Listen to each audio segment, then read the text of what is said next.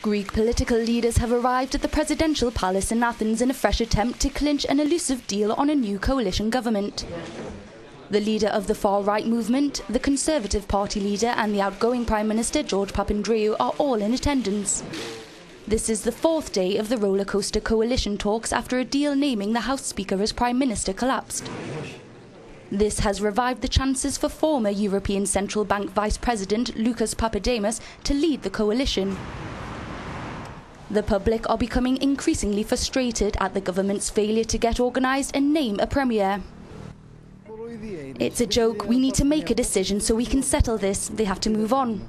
We've humiliated ourselves and lost our standing in the world. No one trusts us. The stakes are high for the new Prime Minister. As well as being expected to win parliamentary approval for the bailout, he'll also have to pass the 2012 budget and secure the latest instalment of Greece's rescue plan.